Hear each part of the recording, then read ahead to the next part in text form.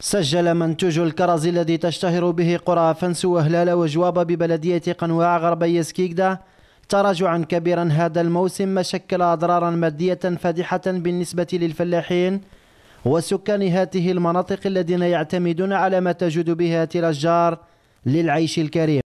رزق من عند ربي راه عايشة به هنايا آه، القرية كاملة. أن إنتاج في الوقت هذا كما يفسد ما تفسدوش الطبيعة. parce que هو fragile بزاف. قادر تصب عليه النو يفسد تعدي الضباب يفسد في النوار تاعو. كي يعطي ربي إنتاج وفير آه، الناس يعيشوا. ما كانش إنتاج السنة ومرض. ما صلحش مرض ما نعرف ما نكذبش عليك. حنا هنا الحق ما نستعملوش الأدوية. حنا هنا الحاجة طبيعية. que ce soit خضرة ولا فاكهة. إن شاء الله كون يدعمونا نخدموه ونوفروه. كي كي يحب ربي ويساعدنا.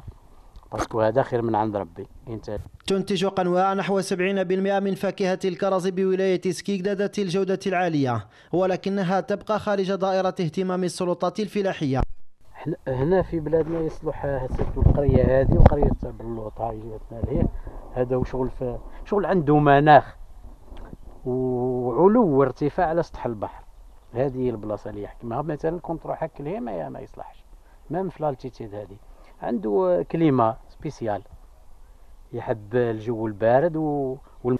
كثيرا ما تتغنى السلطات العمومية بكونها تعمل على دعم الفلاحة والمناطق الريفية لكنها في الواقع غائبة تماما وعدد من الشعب الفلاحية تعيش الإهمال ما يعني الضياع للكثير من سكان المناطق الريفية كحال هؤلاء الناس هنا في قنواع غربي سكيكدا